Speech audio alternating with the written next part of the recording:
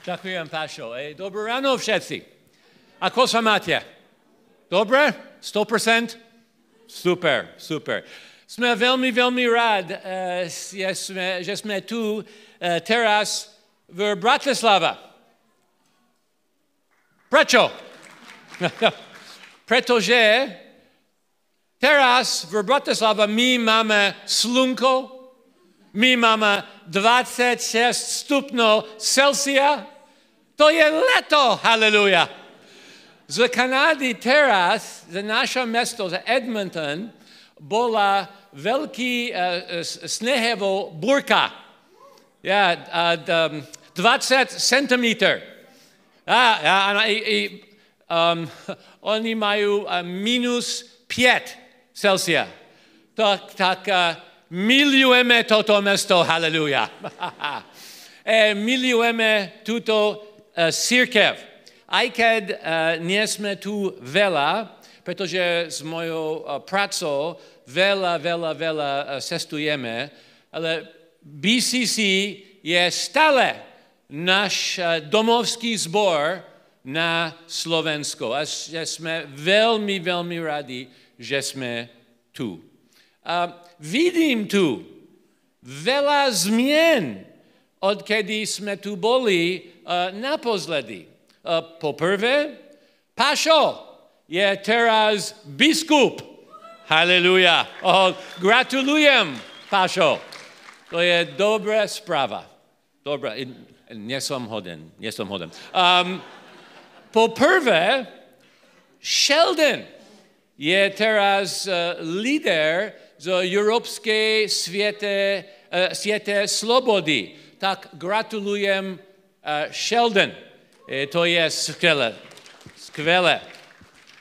Uh, a posledná veľká zmena, uh, keď sme tu boli neposledy, uh, moja žena a je, sme oslavili naše 40. výročie svadby. Hallelujah. Halleluja. Zostáva so mnou 40 rokov. To je zázrak. Halleluja.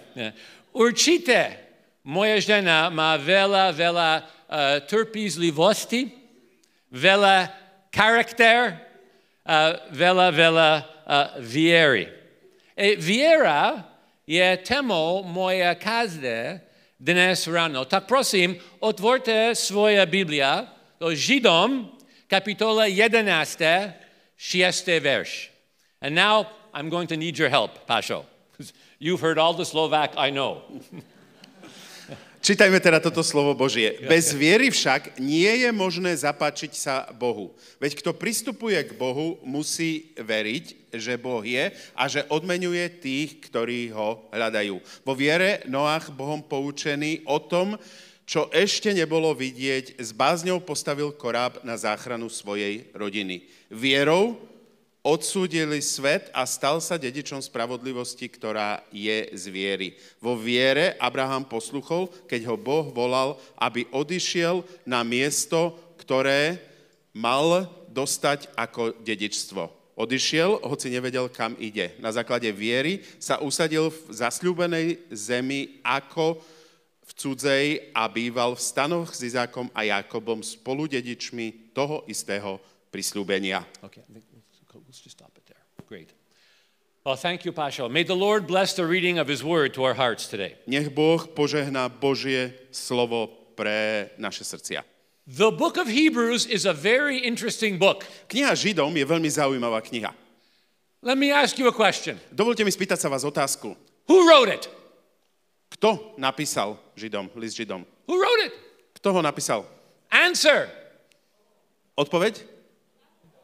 We don't know. Nevieme. Some scholars think it was Paul. E, niektorí biblickí e, skúmatelia Biblie hovoria, že to bol Pavol. Some say it was Apollos. Niektorí hovoria, že to bol Apollo. But the fact is we really don't know. Ale v skutočnosti pravda je taká, že naozaj nevieme. We don't know who wrote it, but one thing we know. Je, nevieme teda, kto napísal tento list, je však jedna vec, ktorú vieme. We know who it was written to. Vieme, komu bol tento list napísaný. It was written to a group of Jewish Christians in the first century. E, Tento list bol napísaný skupine kresťanských židov, ktorí žili v prvom storočí. who were probably going through some difficult times. A zrejme títo kresťania prechádzali ťažkým obdobím. And we know this because in chapter 10, Vieme to preto, lebo v 10. kapitole it talks about this. sa hovorí o tom viac. We don't have time to read it this morning. A dnes ráno nemáme čas na to, aby sme si to prechádzali, aby sme si to čítali. But in chapter 10, verse 32, Ale v 10. kapitole, 32.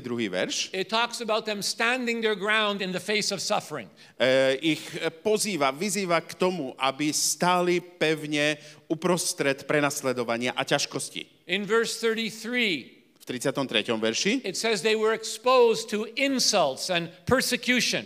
sa píše o tom, že boli vystavení prenasledovaniu a protivenstvu. In verse 34, it talks about some of them being put in prison V 34.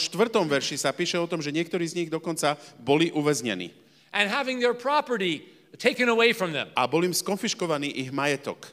And it ta- and, and then in verses 35 to 39, A verše 35 až 39, 10. kapitoly, the author of the book autor tejto knihy encourages them, exhorts them, says, don't throw away your faith. e, ich pozbudzuje, vyzýva, pozýva ich a hovorí, nezahoďte svoju vieru, zachovajte svoju vieru. Stick with faith in Jesus. Zostaňte pevní vo viere Ježiša. And implied in this A e, do toho včlenené is that perhaps, perhaps these Jewish Christians were not sure about their faith.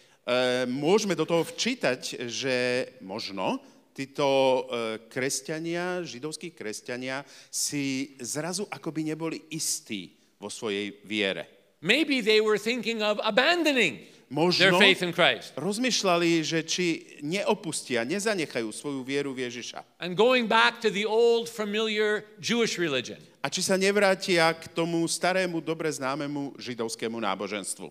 After all, at that time, Konec koncov v tom čase Judaism enjoyed the official protection of the Roman Empire, so there was no persecution. judaizmus, e, teda stará židovská viera, e, požívala priazeň rímskej, e, e, rímskeho schválenia. Teda inak povedané, ak ste boli judaista, nikto vás neprenasledoval. And it had familiar and much loved traditions going back hundreds of years. A bola tam tradícia, ktorá bola známa. Bolo to veľmi bezpečné miesto, na ktoré ste sa mohli vrátiť. Maybe they were tired of all the problems they were facing since they came to Christ. A možno už začínali byť naozaj unavení z toho, ako prichádzali problémy, výzvy od momentu, keď oni prišli a spoznali Ježiša Krista. Maybe they were asking themselves questions like these Možno si kladli takéto otázky. We have been serving God faithfully for years now. Celé roky slúžime už Bohu, verne slúžime. So, how come all these bad things are happening to us? Ako je to teda možné, že všetky tieto zlé, ťažké veci sa dejú v našom živote? I mean, since we've come to Christ, things have got worse, not better. Odkedy sme prišli Kristov, ku Kristovi, nie že by sa veci zlepšovali, ale ešte sa aj zhoršujú. We've been persecuted, Boli sme, sme prenasledovaní, we've been mistreated. e, bolo nám ubližované. Some of us have had their property confiscated, and some of us were thrown in jail.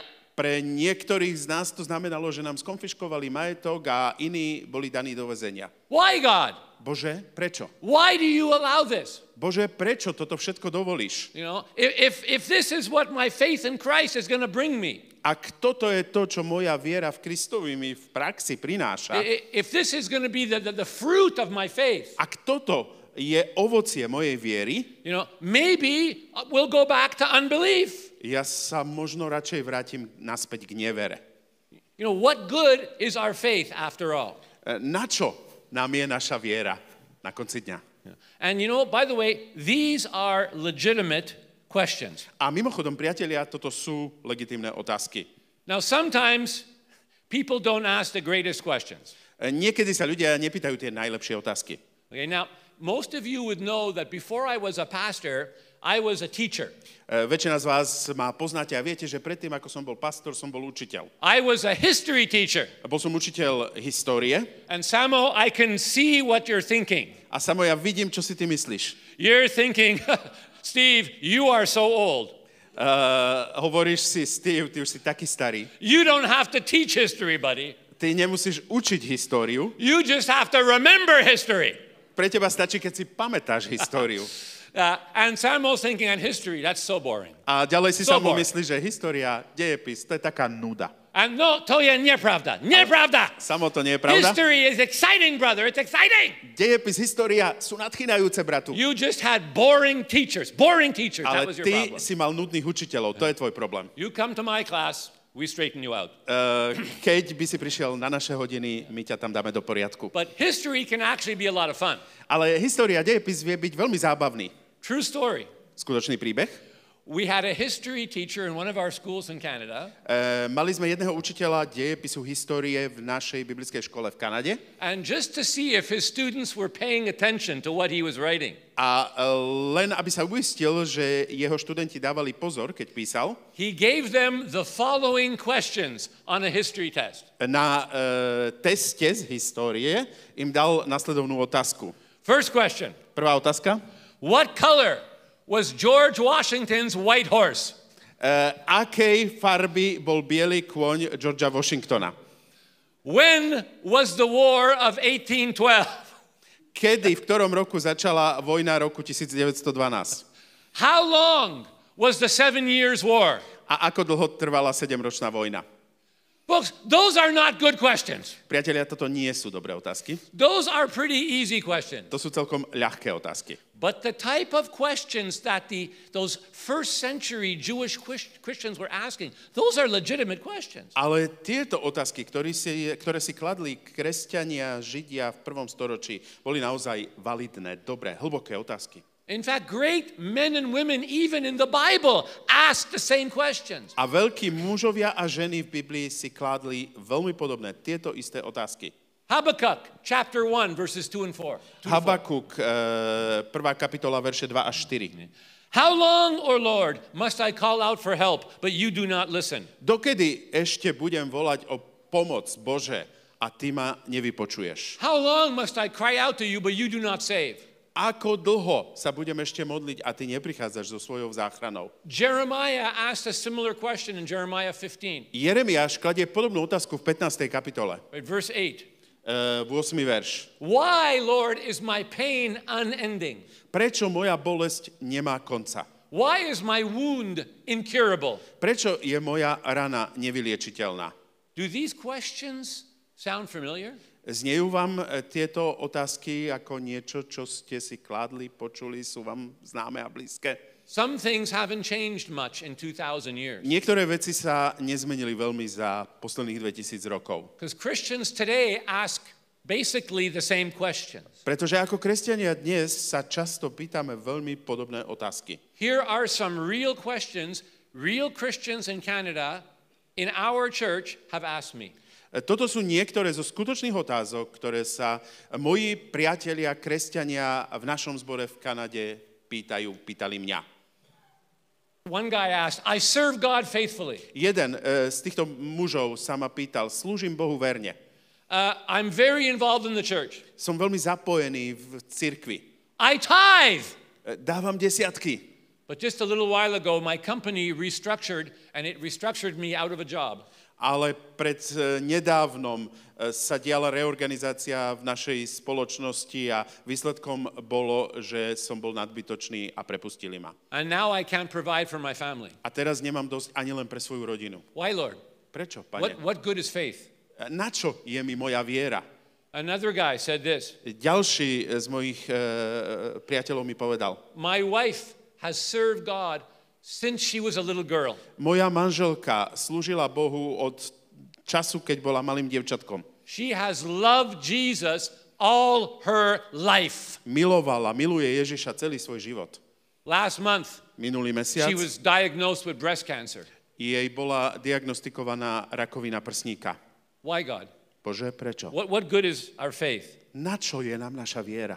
We have some Ukrainian refugees in Canada who live with us, Máme ukrajinských utečencov v Kanade, ktorí bývajú u nás and they asked the question a oni kládli otázky. Why did Russia have to invade? Prečo muselo Rusko napadnúť Ukrajinu? Why did it have to attack our city and we had to flee? Prečo napadli naše mesto a my sme museli utiecť? And we have to go to another country. A musíme ísť do cudzej krajiny. We don't know how we're going to live. We don't know what we're going to do. A nevieme, ako budeme žiť a nevieme, čo budeme robiť. Why, God? Bože, prečo? We serve you faithfully. Why is this happening? Bože, slúžime ti verne, prečo sa toto deje? Folks, it was to people asking exactly these type of questions that the book of Hebrews was written. A priatelia, toto je ten typ otázok, ktoré si kladli títo ľudia, keď im bol napísaný tento list, list Židom. And in the middle of the book, A uprostred knihy we find chapter 11, nachádzame 11. kapitolu. which has been called the great chapter about faith. A táto 11. kapitola sa nazýva Veľkou kapitolou viery. And you know, it, in, he, in verse 6, it talks about without faith, it's impossible to please God. A šiestý verš tejto 11. kapitoly hovorí, že bez viery nie je možné ľúbiť sa Bohu. So if it's impossible to please God without faith, Ak teda nie je možné ľúbiť sa Bohu bez viery, and yet people of faith are still suffering these things and asking these questions, a napriek tomu ľudia viery e, trpia všetkými týmito vecami, ktoré sme spomínali a kladú si tieto otázky, what good is faith? Na čo teda je viera? Why bother with faith, anyways? Na čo vlastne mať vieru? Na čo sa tým trápiť? Allow me to suggest three things quickly from Hebrews 11 this morning. Dovolte mi dnes ráno navrhnúť e, krátko tri veci z tejto 11. kapitoly listu Židom. Number one, Poprvé, faith allows us to see miracles and great answers to prayer. E, viera nám umožňuje vidieť zázraky a zažiť veľké Božie odpovede e, v našom živote. Verse 29, 29. verš. right? By faith, Vierou Moses and the Israelites part the Red Sea, prešli červeným e, morom ako po suchej zemi Mojžiš a Izraeliti. and the Egyptians, who don't have the same faith, Egyptiania, ktorí nemali vieru, they go after them, but they drown. e, sa pokusili prejsť, avšak boli zaplavení.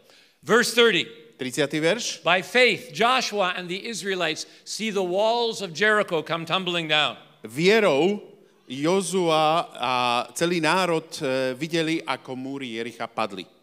Verse 33, 33. verš. by faith, Vierou Daniel shuts the mouths of the lions. e, Daniel zavrel tlamu levovú. You know, the, the first 34 verses of chapter 11 talk about all these great people of faith who saw all these great miracles and signs and wonders. Prvých 34 veršov 11. kapitoly hovorí o týchto veľkých hrdinoch, ktorí videli tieto veľké výsledky viery. Why does the author of Hebrews spend 34 verses reminding the Jewish Christians of all these great miracles? Prečo autor, písateľ tohoto listu, strávi 34 veršov, eh, v ktorých pripomína ľuďom tieto veľké Božie zázraky? What's he trying to say to them? Čo sa nám snaží, čo sa im snaží povedať? He's saying to them, look, if God did it before, Snaží sa im povedať, počujte, ak Boh to urobil vtedy, v He can do it minulosti, now. on to môže urobiť aj teraz. if he did it for them, Ak to mohol urobiť pre nich, if he delivered them and he rescued them, ak vyslobodil ich, ak pomohol im, he can deliver you and rescue you. môže pomôcť a vyslobodiť aj teba. So hang in there. Takže zotrvaj, Don't give up on your faith. nevzdávaj sa so svojou vierou. You know, just persevere and a breakthrough may be coming. Vytrvaj ešte a ten prielom možno už práve prichádza. And by the way, I have seen this in my own Christian walk. A mimochodom, ja som presne toto videl a zažil vo svojom osobnom kresťanskom živote. I, I've been a Christian for 45 years. Som kresťanom 45 rokov. I was saved when I was two. E, bol som spasený, keď som mal 2 roky, to si viete vypočítať. Not quite. I was saved when I was 18. Nie celkom, mal som 18 rokov. But, and, and in those 45 years, I've seen a lot. A za tých 45 rokov som naozaj videl veľa. When I first came to Christ, Keď som prvýkrát prišiel ku Kristovi, way back in 1979, dávno v roku 1979, I was just starting university. Začínal som študovať na univerzite And uh, I was going to a, a Christian club on campus. a e, navštevoval som kresťanskú skupinku, klub e, tam na internátoch And a girl was there, and she said, Everybody, I want you to pray. a bola tam jedna dievčina, ktorá hovorila, chcem, aby ste sa všetci modlili. I want you to pray for my friend. Chcem, aby ste sa modlili za môjho kamaráta, kamarátku. He, he was a Vietnamese guy. His name was Dat Nguyen. Uh, bol to Vietnamec, ktorý sa volal Dat Vunem. He's not a believer, Nie je kresťan, nebol kresťan. and he's got a very aggressive form of cancer, Mal veľmi agresívnu rakovinu, agresívne štádium and he's rakoviny dying. a zomieral. The doctors have given him just six months to live. Lekári mu dali 6 mesiacov života. And so we prayed and we prayed and we prayed for him. modlili, modlili a modlili. Uh, this is right when school started in September. Toto bolo na začiatku školského roka v septembri. Four or five weeks later in October, E, O 4-5 týždňov neskôr v októbri Dak got saved. He gave his heart to Jesus Christ. Hallelujah. tak bol zachránený, teda odovzdal svoj život Ježišovi Kristovi. Haleluja. And we were all thrilled. Praise A God. všetci sme boli nadšení, vďaka Bohu. But then it got even better A potom sa to ešte zlepšilo. because about a month after that, in November, O, asi o mesiac v novembri Dak got completely, totally healed of cancer. Hallelujah. tak bol úplne dokonale uzdravený z rakoviny. Haleluja. The cancer was gone. And by the way, he's still alive today. A priatelia, dodnes žije. And he actually spent many years leading the Christian group at the university. A strávil veľa ďalších rokov svojho života tým, že viedol kresťanskú skupinu, kresťanské skupiny tam na univerzite. I was three months old in the Lord when I saw this. A keď som toto videl, som bol trojmesačné v úvodzovkách bábetko v Kristovi. And I will never forget it. A ja na toto nikdy Great nezabudnem. miracle.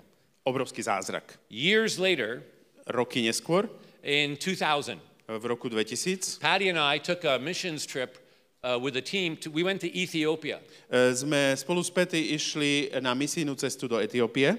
And the church in Ethiopia was having revival. They were exploding. A e, církev v Etiópii zažívala prebudenie, doslova to tam explodovalo. They had 10 million people saved in the last 10 years. Počas desiatich rokov bolo v Etiópii v tom období zachránených 10 miliónov ľudí. And there were all sorts of signs and wonders and miracles. A diali sa tam obrovské znaky, znamenia, zázraky. And they were telling me that normally how they were planting all these churches and this is how a church was started.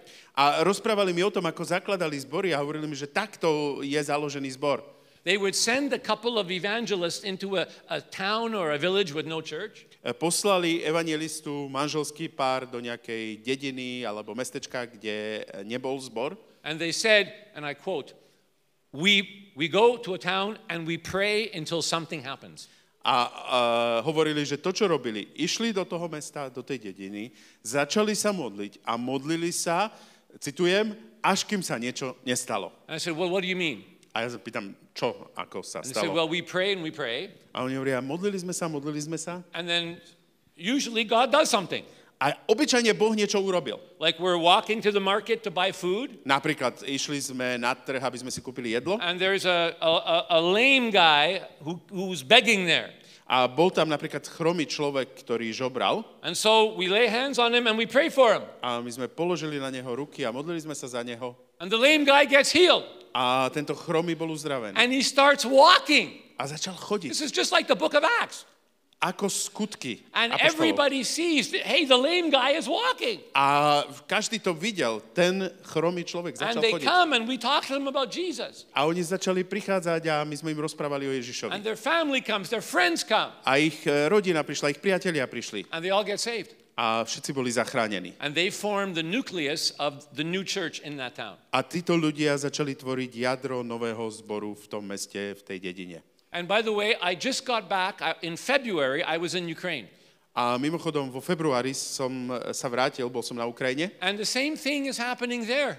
a veľmi podobné veci sa dejú tam. Despite the war, Napriek vojne. maybe even because of the war, Alebo možno kvôli vojne. Ukraine is so spiritually open right now. E, Ukrajina je v súčasnosti tak veľmi duchovne otvorená. And churches are growing. A církev rastie. And new churches are being planted. A nové zbory sú zakladané. And people are being saved. Ľudia sú zachránení. It's just fantastic what's happening there. Je to úžasné, čo sa tam deje.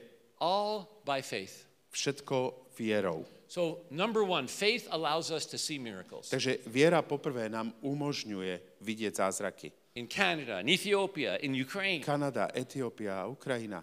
and here in Slovakia too. A tu na Slovensku tiež. Eh. Number two, Po druhé, faith allows us to see miracles. Yes, it's very true. E, teda áno, viera nám umožňuje vidieť zázraky, je to pravda. That's the message of the first 34 verses of Hebrews 11. To je posolstvo 34 veršov z zo Židom, 11. kapitoly. But in verse 35, the author starts making a different point. Avšak v 35. verši autor e, začína poukazovať na niečo iné. Point number two. A to je ten náš bod 2. Yeah, faith allows us to see miracles, Áno, viera nám umožňuje vidieť zázraky, but faith also allows us to persevere ale viera nám takisto dáva schopnosť vytrvať. even when we do not see the miracles. Aj vtedy, keď neuvidíme zázrak, kým nevidíme zázrak. So, you know, verses 1 to 34 talk about all these great miracles and victories that happen to people of faith. Takže verše 1 až 34 hovorí o všetkých tých zázrakoch, o tých veľkých veciach viery, ktoré sa stali, ktoré sa udiali. But from verses 35 to 40, Ale verše 35 až 40 we read about all these terrible things that happened to people of faith. zrazu začíname čítať o tých strašných, hrozných veciach, ktoré sa udiali, udiali ľuďom viery. Verse 35 35. verš. some were tortured. Niektorí boli mučení. Verse 36 36. verš. some were whipped, Niektorí boli bičovaní, chained, e, prikovaní, they were put in prison. E, boli daní do väzenia. Verse 37 37. verš. others were stoned. E, Ľudia boli kameňovaní. They were, some of them were even sawed in two. Niektorí dokonca boli prerezaní na polovicu. Some were destitute, persecuted, mistreated. E, Niektorí boli e, prenasledovaní, zneužívaní, utlačaní. Verse 38, some of them were totally rejected. E, 38. 8. verš hovorí, že niektorí boli úplne odmietnutí. They had to wander around in caves and holes in the ground. Oni sa museli schovávať v jaskyniach a dierach v zemi. But verse 39 says, Ale 39. verš hovorí, these people títo ľudia, všetci were títo ľudia all commended by God for their faith. boli všetci uh, uctení, zdokonalení v Bohu pre ich vieru. These people who they never saw signs and wonders and miracles. Toto sú ľudia, ktorí nikdy neuvideli vo svojom živote tie zázraky, tie e, veľké Božie veci. They never got delivered or rescued. Nikdy neboli vyslobodení, nikdy neboli zachránení. Yet the Bible says they were just as much great men and women of faith Avšak Biblia hovorí, že oni rovnako boli veľkými mužmi a ženami viery, as the people who saw the miracles and who got delivered. ako tí, ktorí zažili tie zázraky, prežili ich sami na vlastnej So, koži. folks, what's the point here?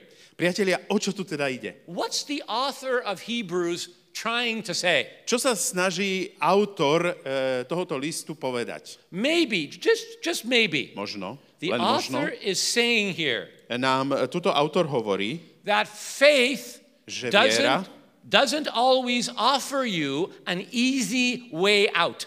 e, nie je vždy automatickou cestou e, k tomu, aby si zažil vyslobodenie, zázrak, záchranu. Faith doesn't always give you a quick and easy answer. Viera ti nie vždy dáva rýchlu a e, automatickú odpoveď.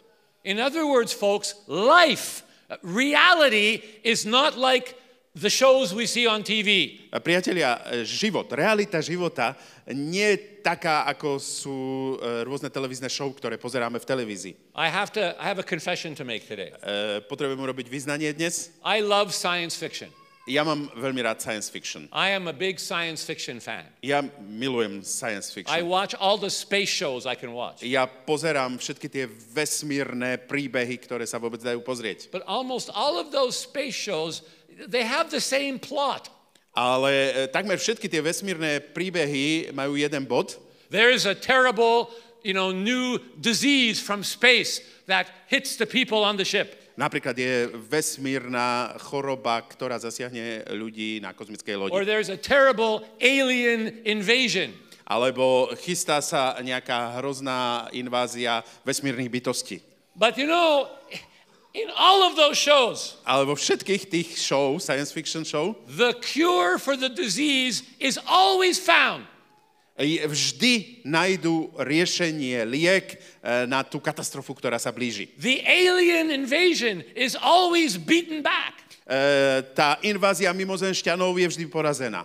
And the hero of the story always gets the girl. Always. A e, hlavný hrdina príbehu vždy nakoniec dostane to dievča. All in 60 minutes. Všetko za 60 minút mimochodom. To je zázrak. Hallelujah. To je zásrak. Yeah. Yeah, wouldn't it be nice if life were actually like that? Nebolo by to krásne, keby život bol naozaj takýto? But folks, maybe, maybe in Bratislava, life is like that. Priatelia, možno v Bratislave život takýto je. Maybe here in BCC you only have victory, you only have miracles, hallelujah. A možno, že tu v BCC máte len zázraky a všetko to prichádza rýchlo. Because, you know, but in, in Canada, we don't have that. Ale v Kanade toto nemáme. We have problems in Canada. My máme problémy v Kanade. You know, we're not as spiritual as you. My nie sme takí duchovní ako vy. Right? And, and the fact is, most of the time, life is not like that.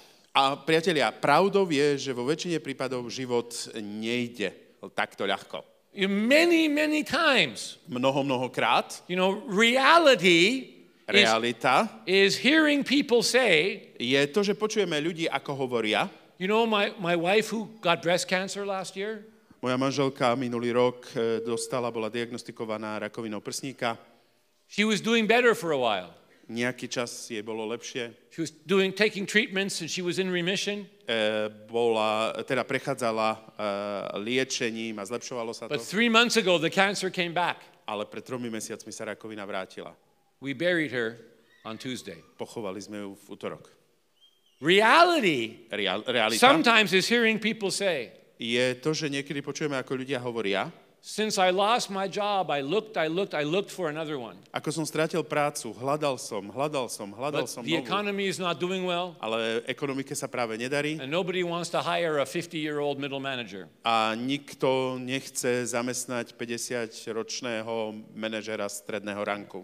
Reality is sometimes hearing people say, Realita je, že niekedy počujeme, ako ľudia hovoria, I prayed and I prayed and I prayed for the war to end. modlil som sa, modlil som sa, aby vojna skončila, And so I could go back home. aby som sa mohol vrátiť domov, But the war is still going on. ale vojna stále prebieha. And last month, they bombed my city A minulý mesiac bombardovali moje mesto and my house was destroyed. a môj dom bol zničený. And now I have no place to go back home to. A teraz už nemám ani len miesto, kam by som sa vrátil.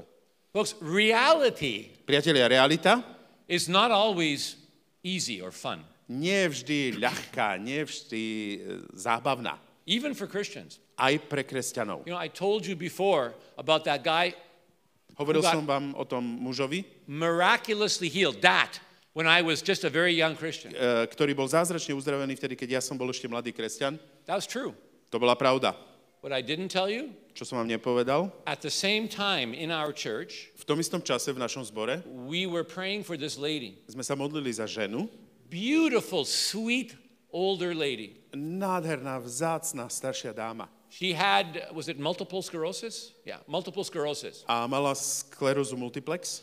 By the time I got saved, A e, v čase, keď ja som sa obrátil, she was in a wheelchair. I, I don't remember ever seeing her out of a wheelchair. e, bola už na vozíku, ja si ju inak ani nepamätám. Patty remembers because she was in the church even as a little girl before I was. E, Peti si ju pamätá, lebo ona bola v cirkvi už ako malé dievčatko, oveľa skôr ako ja. But by the time I was in the church, I just remember her being sick in a wheelchair. A odkedy si ju ja však pamätám, bola na vozíku. Her name was Nita Morris, beautiful lady. E, volala sa Nida Morris, veľmi vzácna žena. And folks, we did everything we knew how to do for her. A my sme urobili, priatelia, všetko, čo sme vedeli, mohli urobiť pre ňu. We, we prayed and prayed for her. Modlili, modlili sme We sa fasted.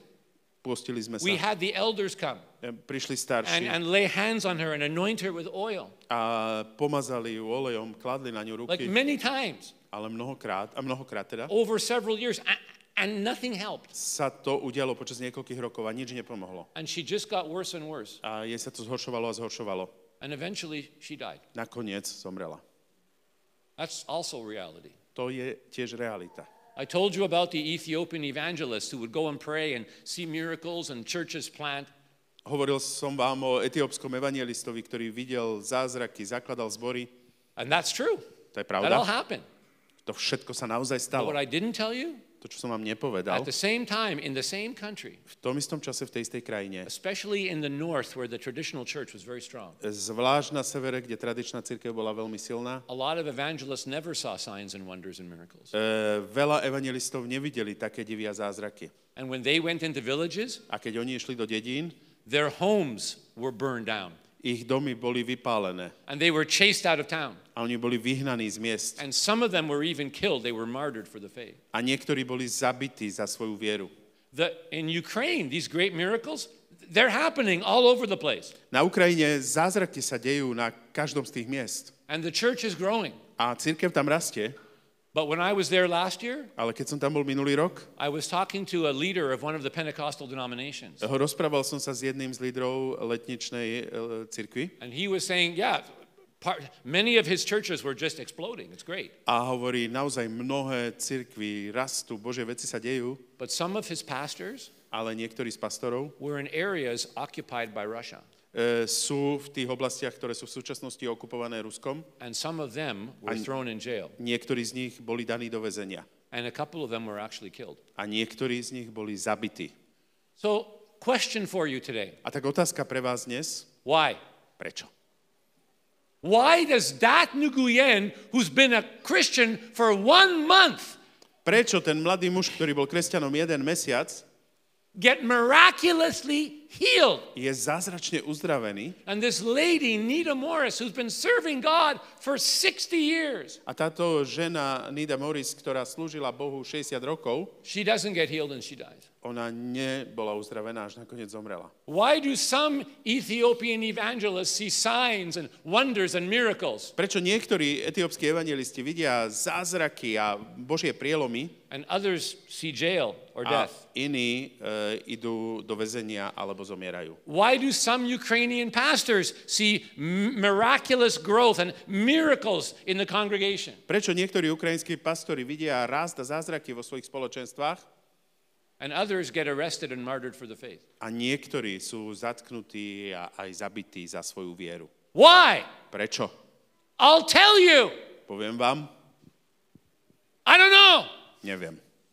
I have no idea. Neviem.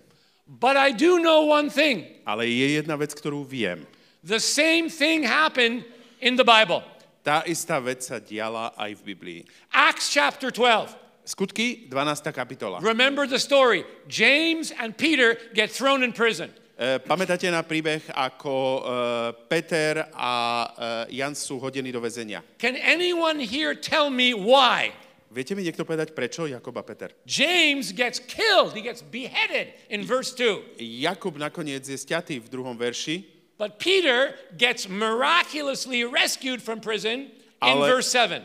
M, Peter je v 7. verši zázračne zachránený z väzenia.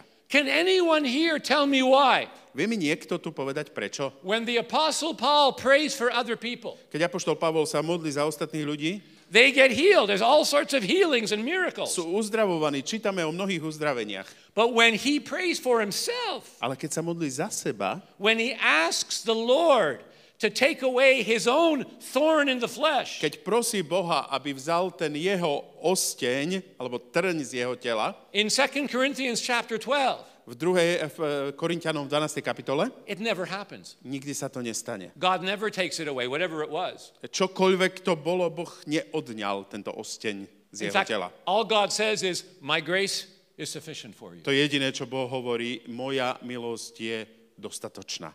You know, folks, why? Why do this? What, is the what is the author of Hebrews saying here? Čo, nám, čo sa nám snaží písateľ listu Židom povedať tu? Prečo? By including all these people in verses 35 to 39 who Tým- never saw miracles. Že zahrňa všetkých týchto ľudí, ktorí vo veršoch 35 až 39 nezažili zázrak. Čo nám to má povedať? As great men and women of faith. Ako veľkí mužovia a ženy Božie, Perhaps, just perhaps, možno, len he- možno, he's saying that the real test of faith, real faith, e, možno sa nám snaží povedať, že ten skutočný test viery, tá skutočná viera is persevering even when you don't see the miracle. je vytrvanie aj vtedy, keď nevidíme zázrak. What did Jesus say to Thomas in John chapter 20? Čo hovorí pán Ježiš Tomášovi v Jánovi v 20. kapitole? He said to him, verse 29, E, 29. verš mu hovorí. Because you have seen, you believe. Preto, že si videl, veríš. Blessed are those who have not seen Blahoslavení, požehnaní sú však tí, ktorí nevideli and yet believe. a veria. Napriek tomu veria, napriek tomu uverili. Maybe that takes even a higher faith. Možno to chce ešte väčšiu vieru. And that leads me to my last point very quickly this morning. A e, to ma vedie veľmi rýchlo k poslednému bodu dnes ráno. Point number one faith allows us to see miracles. Takže poprvé, viera nám umožňuje vidieť zázraky. Number two, it allows us to persevere even when we don't. E, po druhé, umožňuje nám vytrvať, aj keď ten zázrak neprichádza. Why? Prečo? Because point number three, with faith, Pretože, po tretie, we know God is in control. vieme, že Boh má nad všetkým kontrolu. And that good will triumph in the end, in the long run. A že nakoniec z toho dlhodobého hľadiska dobro zvíťazí. Because this life is not all there is. Pretože tento život nie je všetko, o čom život ako taký je. And in verses in verse 39 and 40 of Hebrews 11, A v Židom v 11. kapitole verše 39-40 it says, you know, these great people of faith who suffered so much. e, a hovorí o tom, že títo velikáni e, viery Božej, ktorí toľko trpeli, None of them saw what was promised. e, ani jeden z nich nevideli to, čo bolo zaslúbené. But it goes on to say, why? A píše sa ďalej, hovorí prečo? Because God had something better for them. Pretože Boh zamýšľal niečo lepšie o nich, alebo pre nich. Better! Niečo lepšie. Even though they didn't see it at the time. Aj keď to v tom čase ten zázrak nevideli.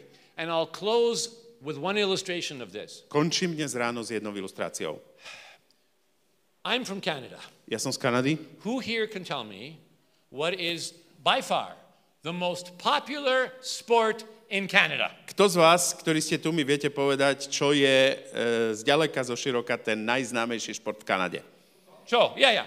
Hockey. Hokej. Hockey. I mean, we have football, we Máme have basketball. futbal, máme and They're all basketbal. popular. Všetky sú populárne, But nothing comes close. Nothing touches hockey. ale nič sa ani len neblíži do tieňa slávy hokeja. Hockey is everything in Canada. Hokej je všetko v Kanade. Now, I am from the great city of Montreal. Ja som z veľkolepého mesta Montreal. It is the second largest city in Canada, 4.5 million people, Je to druhé najväčšie mesto v Kanade, má 4,5 milióna ľudí and it's French. A je to francúzske It's the mesto. largest French-speaking city. Je to najväčšie francúzsky hovoriace mesto And Montreal has a great hockey team. a Montreal má vynikajúci hokejový At tým. least they did when I was young. E, Respektíve mali, keď ja som e, bol mladý. Not so great today, unfortunately. E, Už dnes nie sú takí dobrí. But when I was young, Ale keď ja som bol mladý, the Montreal Canadiens were the best. E, best. montrealskí Kanadenia boli tí najlepší na svete. But we had a rival, we had an enemy. Ale mali sme rivala, mali sme nepriateľa. Because who can tell me what's the largest city in Canada? Pretože kto mi viete povedať, ktoré je najväčšie mesto v Kanade? Toronto, Toronto? six point something million people. E, 6, celé niečo milióna obyvateľov. So it's bigger than us. Sú väčší ako my? And even worse, A ešte horšie, it's English. sú anglicky hovoriaci. So there was a huge, when I was a kid, there was a huge rivalry between the two hockey teams. Keď ja som bol mladý, bola obrovská rivalita medzi týmito dvomi hokejovými týmami. And Toronto was the enemy. A Toronto bol ten nepriateľ. Now, of course, later Samozrejme. on I got saved. Neskôr som bol spasený. But I have to confess, I still had, you know, when you're saved, you're supposed to love everybody, right? A viete, keď ste zachránení, spasení, tak by ste mali všetkých milovať, hej? I, I loved everybody. Ja som miloval všetkých But it was very hard to love the Toronto hockey team. Ale bolo to veľmi ťažké milovať e, hokejový tým Toronta. I was, I, you know, I, I love the Slovak hockey team. I always cheer, right, Danka? I always cheer for Yeah. Slovakia whenever they play. Miloval som, milujem slovenský tým. Danka, ty vieš, ja vždy fandím Slovákom, keď hrajú hokej. You know, she lived with us in Canada. She knows. Ona žila s nami v Kanade, ona No, vie. yeah, pravda. To je pravda. 100%.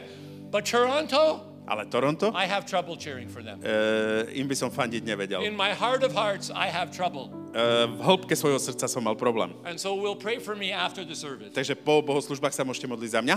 But some years ago, but by this time Patty and I were already living in Edmonton, A po nejakých rokoch už sme späť bývali v Edmontone. There was a hockey game one night. Jedného večera bol hokejový zápas. Montreal against Toronto. Montreal proti Torontu. And I wanted to watch the game, A ja som chcel pozerať e, ten zápas, but I couldn't. ale nemohol som. Why? Prečo? Because we had a prayer meeting at church that night. Lebo sme mali modlitby ten večer v cirkvi. And I was a pastor. I had to be there. A ja som bol pastor a musel som ísť na In modlitby. fact, I was running the prayer meeting. I was leading it. Vlastne ja som viedol tie modlitby. And I wasn't happy. A nebol som šťastný z modlitev. See, I'm not as spiritual as you, Pasho. Ja nie som taký duchovný ako vy tu, Pašo. But praise God Ale chvala Bohu, for modern technology e, vďaka Bohu za modernú technológiu, when it works. keď funguje. Because what even though I went to the prayer meeting, Lebo aj keď som išiel na to modlitebné stretnutie, I wasn't too disappointed nebol som veľmi znechutený, because what could I do? pretože čo som mohol urobiť? I could record the game Mohol som si nahrať ten zápas and watch it later. a pozrieť si ho neskôr. No problem. Žiadny problém. So I recorded the game. Nahral som si I left the zápas, prayer meeting. išiel som na We actually modlitby, had a very good prayer meeting. mali sme dobré modlitby, The Lord, you know, the Lord forgave my sinful soul. e, Boh odpustil mojej hriešnej duši And, uh, and, and uh, actually, the prayer meeting went longer than I thought it was going to go. a tie modlitby boli dlhšie, ako som si myslel. By the time the prayer meeting was finished, E, Kým skončili modlitby, the game was over, e, skončil aj zápas. right? And I'm in the car driving back home. A som v aute, išiel som domov And I know we're supposed to resist temptation, but I couldn't resist. a ja viem, že pokušenie treba odmietať, ale ja som nezvládol odmietnúť to toto pokušenie. E, Ďalšia modlitba za mňa. I, I had to know what happened. I had to know what happened in the game. Nevydržal som to, chcel som vedieť, ako skončil zápas. So I put the radio on in the car. Takže som si zapol rádio v aute I was listening to the news. a počúval som správy. And at the end of the news, they always have the sports, right? A na konci správy je vždy šport. And it was a very, very, very brief sportscast. E, Bolo to veľmi krátke športové zahlásenia. They, all they said was, A to, čo povedali, there was a hockey game tonight. e, dnes večer bol hokejový zápas. Montreal beat Toronto 4 to 3. E, Montreal vyhral nad Torontom 4-3. Hallelujah. Haleluja. They didn't say hallelujah on the radio. To hallelujah nepovedali v Um, rádi. And so I, I knew that Montreal won. Praise God. ja som teda vedel, že Montreal vyhral. But that's all I knew. Ale to bolo všetko, čo som vedel. Nevedel som ako, nevedel som nič. So I got home. I'm in a good mood. A prišiel som domov, dobrá naladička. You know, we had a good prayer meeting. The Canadians won. Life doesn't get better than that. E, mali sme skvelé modlitebné stretnutie, Montreal vyhral, život nemôže byť krajší. And so I go to the fridge, I get some Sprite, E, vybral som si z chladničky nejaké veci, I go to the pantry, I get some pretzels, e, nejaké e, praclíky som si zobral. I sit down in front of the TV and I put the TV on. Sadol som si pre televízor And I a zapol game. som si zápas a pozeral som ho. How many of you here have actually been to a hockey game? Koľko z vás ste už boli na hokeji? Oh, yeah, many of you, because Slovakia is a great hockey nation. Pretože Slovensko je silný hokejový národ. Hallelujah. So, Haleluja. so you know that a hockey game has three periods of 20 minutes each, A e, viete, že hokejový zápas má 3 20 minútovky with two 15-minute intermissions between the periods. a dve 15 minútové prestávky medzi tým. First period, E, takže prvá 20 minútovka, Montreal is playing Toronto. e, Montreal hrá s Torontom, Midway through the period, Toronto scores. e, niekde v polovici e, Toronto dáva gól, By the end of the period, it's 1 nothing Toronto. e, končí prvá 20 minútovka, prvá tretina a je to 1-0 pre Toronto. So one third of the game is gone and we're losing. Tretina hry prešla, prehrávame. Question Otázka. Am I worried? Trápi ma to? How do I feel?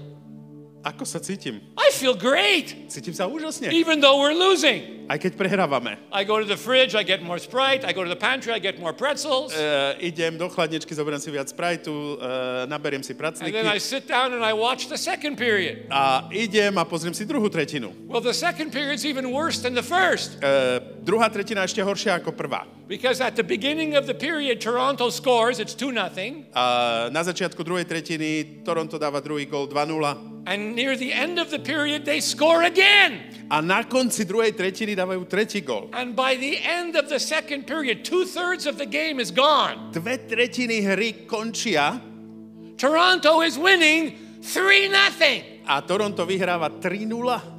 And in hockey, that's a big lead. A e, to je veľký náskok v hokeji. And Montreal is losing badly. A Montreal e, naozaj, že prehrával zlým spôsobom. Question Otázka.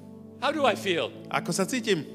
Am I nervous? Som nervózny? Am I biting my nails? Obkusujem si nechty? Um, is my stomach churning, wondering how the game is going to finish? Zovretý žalúdok a že ako to dopadne? No! Nie. I go back to the pantry, I get more pretzels. Zoberiem si ďalšie As you can see, uh, I sit Ako vidíte, down. sadnem si And folks, I watch the third period. a priatelia, pozerám tretiu tretinu. Hallelujah for the third period. Haleluja za tretiu tretinu.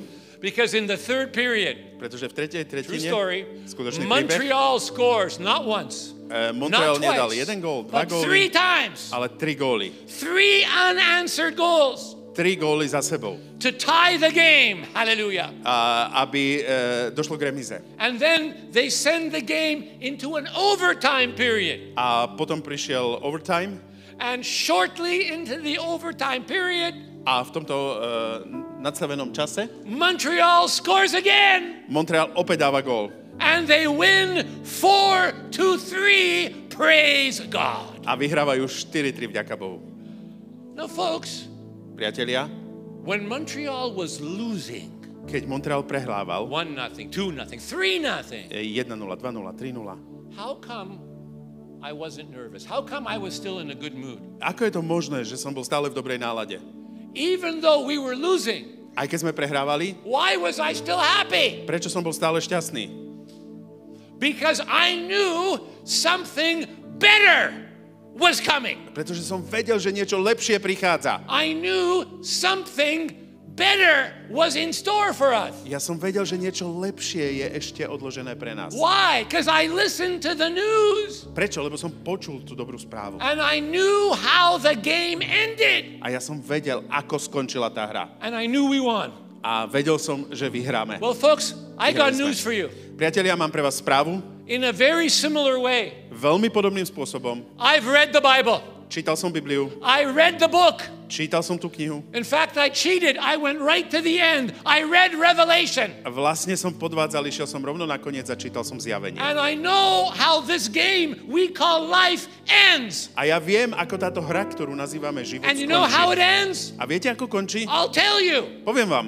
Jesus wins. Hallelujah. Ježiš zvíťazí. Haleluja. Jesus wins. Ježiš víťazí. And we win with him. A my víťazíme s And ním. in fact, the Bible says we reign with him for a thousand years. A Biblia hovorí, že budeme vládnuť s ním And tisíc there's rokov. no pain, no A nebude mourning, tam no bolesť, suffering, nebude tam no death. e, žiadna smrť, e, žiadne trápenie. And he wipes away the tears from every eye. A on zotrie slzu z každého oka. Revelation 22, read it again for the first time. 22, Hallelujah. prečítajte si to znovu.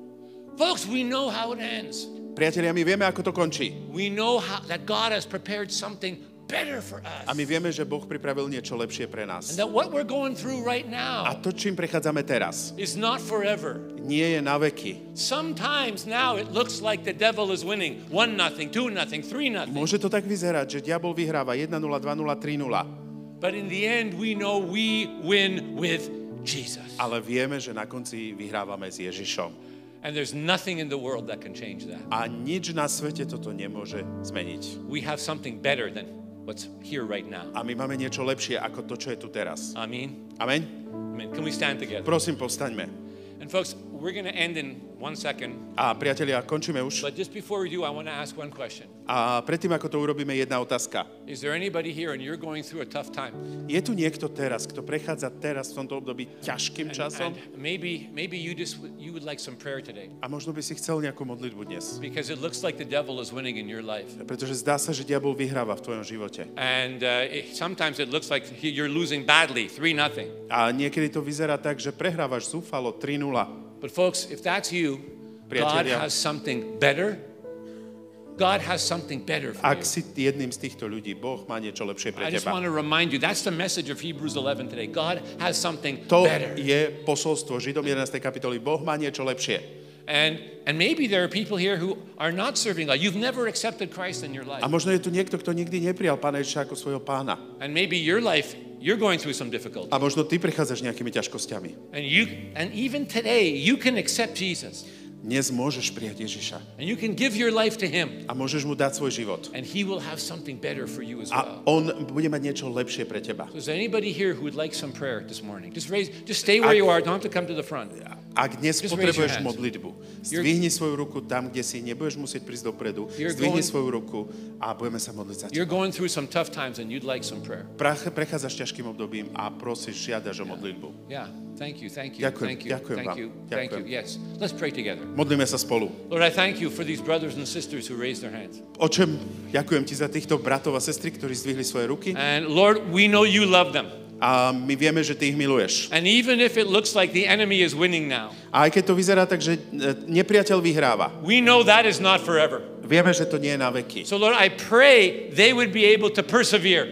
Pane, modlíme sa o to, aby vytrvali. They would be able to hang in there Modlíme sa o to, aby zotrvali, and keep the faith. Aby zachovali vieru. Lord, help them to know that you have something better in store for them. Pane, prosím ťa, ukážem, že ty máš niečo lepšie pre nich. And what they're going through now, it's not always going to be. A to, čím prechádzajú teraz, to nie je niečo, čo tam bude stále. Lord, speak to their hearts. Oče, hovor do ich Help srdca. them to know Daj im vedieť, even poznať, now, even today, že aj teraz a tu Lord, you hear their cry. Ty počuješ ich volanie. You know what's happening. Ty vieš, čo sa deje. And you're going to answer their prayers. A ty budeš odpovedať na ich And Lord, modlitby. even today, the breakthrough is coming. A už dnes ten prielom prichádza. Even today, the answer to prayer is coming. Už dnes odpoveď na modlitbu prichádza. Encourage their hearts, Lord, Povzbud ich srdcia and stretch out your hand. a vystri svoju ruku. Move in their lives. Konaj v ich živote, pôsob v ich Lord, živote. just give them the answers that the, the prayer that they're desperately needing. A prosíme ťa, daj odpoveď,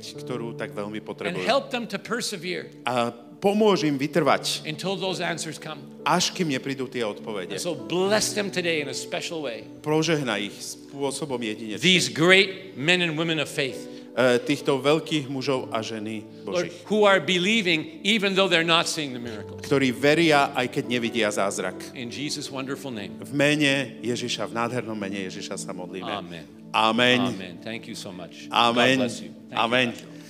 Haleluja. Boh je dobrý.